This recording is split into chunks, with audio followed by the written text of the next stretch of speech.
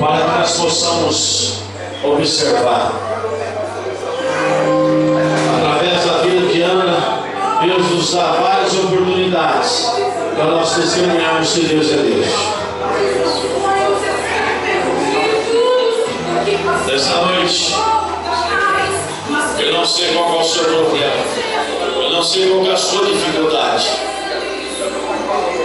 Talvez você tenha bastante sua madre financeira está cerrada.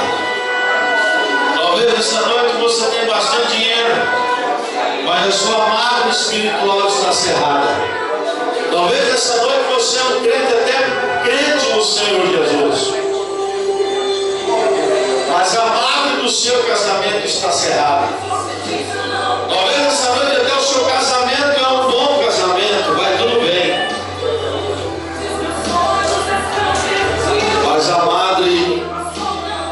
Seu trabalho está cerrada. Talvez até você tenha um trabalho bom, mas a sua saúde não está boa. Essa noite,